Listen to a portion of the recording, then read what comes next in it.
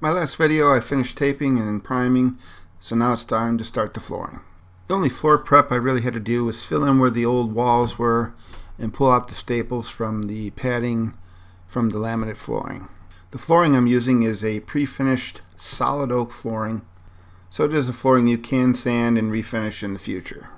Now I've got this flooring in my living room and my dining room as you can see here. That flooring's been in for five years and is in really good shape.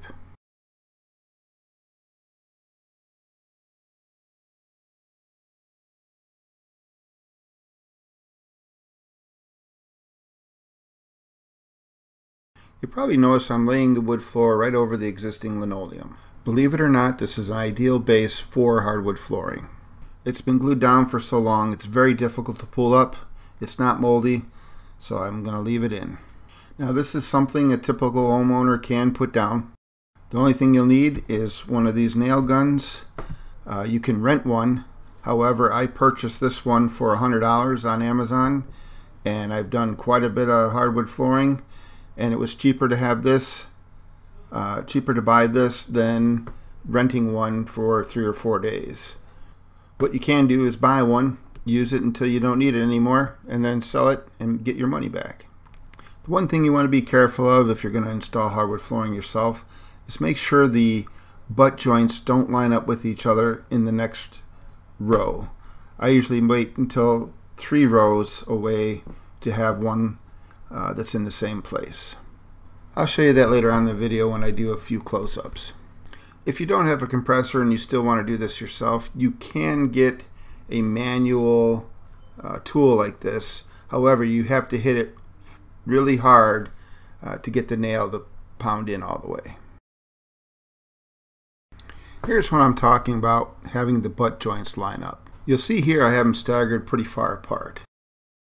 Now you see here I like to have at least three boards apart before they start repeating again. Even then I don't have them exactly lined up. They're about an inch or two apart. Now it may not always work that way, but that's where I like to have them. And you'll see here sometimes it'll get away from you. I have one here that's a little bit too close together for being only one board apart. Now I've had these boxes of flooring sitting in my living room for about two weeks now you don't have to have them sit that long, but you do need to acclimate them. Uh, I would suggest doing that for at least a week. I try to lay out as many rows as I can ahead of nailing them down. This gets everything sorted out and makes the installation process go much faster. You have to be careful how far you lay these out and make sure you're getting the boards you want in the right place. Having to change out a board because you uh, missed a defect or put a, a butt joint in the wrong place can cause you to have to redo all of what you just did.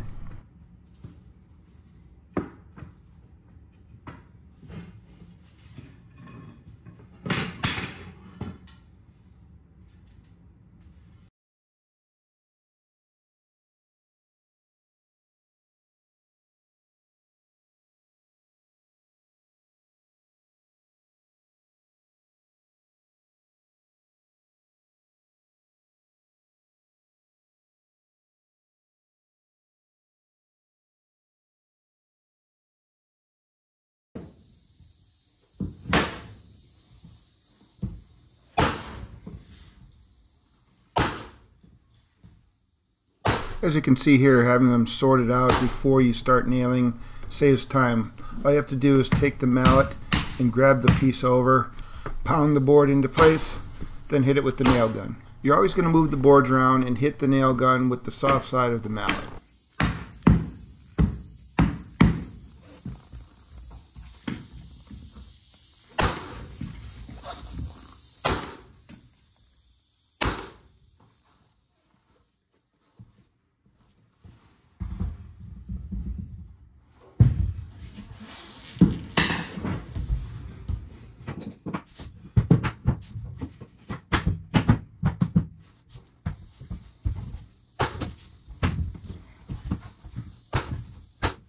You notice here I'm still hitting the gun fairly hard. Hitting the gun that hard helps push the board closer and tighter to the next board. You want to have the boards put into place as tight as you can with the mallet before you nail it in. Then hitting the gun with the mallet will ensure that the boards do not have any gaps. The gun is too big to get the first few rows, so I use an 18 gauge brad nailer to start the first few rows.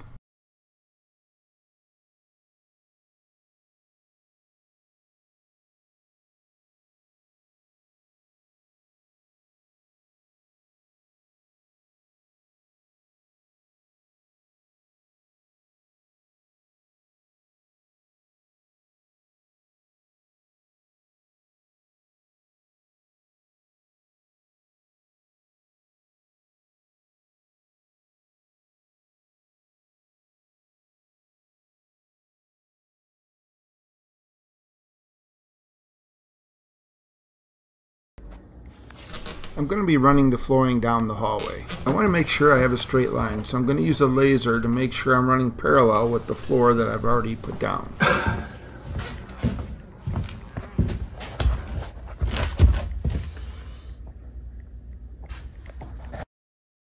Now I'll make an adjustment here, move the board over, and I'll be ready to start nailing it down.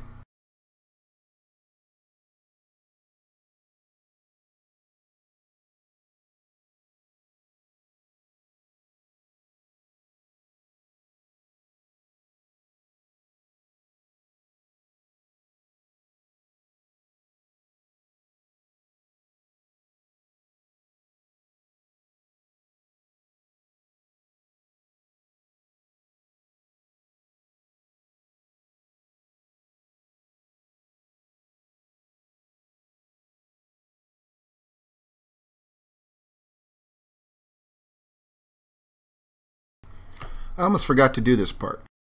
The floor in this area was very squeaky, so I stopped installing the floor and used two and a half inch screws to secure the floor to the joists.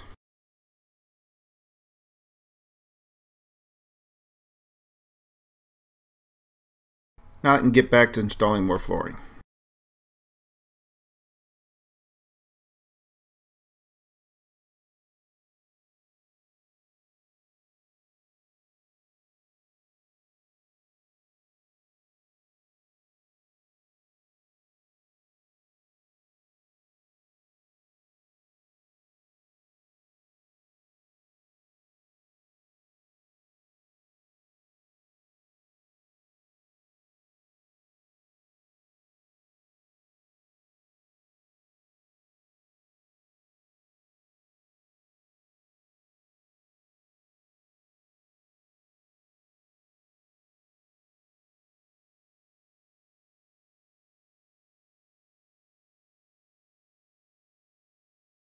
I'm going to end the flooring here at the doorway for two reasons. One, I ran out of flooring.